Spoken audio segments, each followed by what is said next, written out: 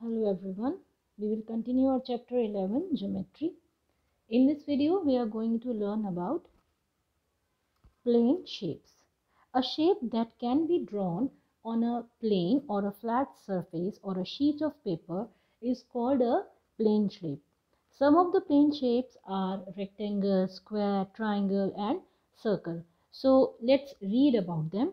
First of all we will see a rectangle rectangle is this. This is how it looks. Now rectangle has four corners. One two three and four. As we know these are also known as vertices or vertex as singular. So these are the vertices or corners present. It also have four sides because it is made up of four line segments. So it has four sides. Now when you see a rectangle, you should know that two opposite sides of rectangle are equal. If you see these two opposite sides, this and this, they are equal in length. Similarly, these two opposite sides are equal in length. So opposite sides of rectangle are always equal. Now, if we match the opposite vertices, for example, from this to this and from this vertex to,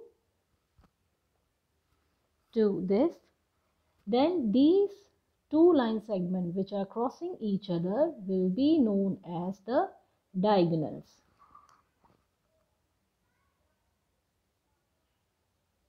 Both of these, this and this.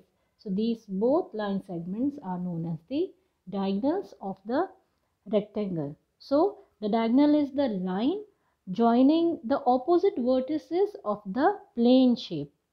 As that can be seen from the figure, the rectangle has two diagonals and if we measure them, we will observe that diagonals of the rectangle are equal of length.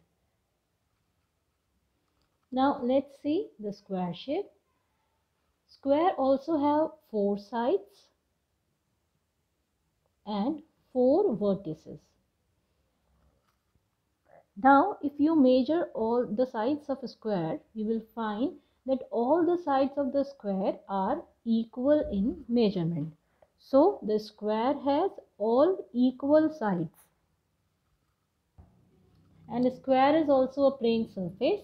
So, if we if we want to draw the diagonals here square also will have two diagonals and both of the diagonals will be the same in length if you measure them. Next in line is triangle. Triangle has three vertices and three sides. So a triangle has three sides three corners or vertices, the sides of the triangle may or may not be the same in length that depend on the shape of the triangle.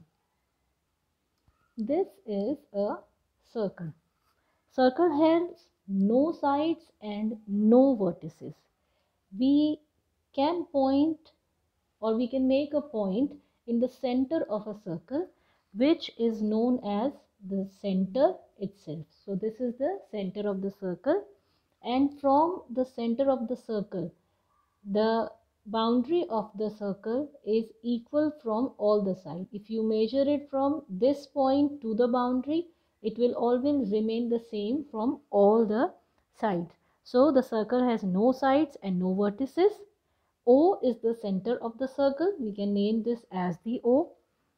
The line joining the center of the circle to the boundary of the circle for example, if I am joining this center to the boundary of the circle here, so this will be known as the radius.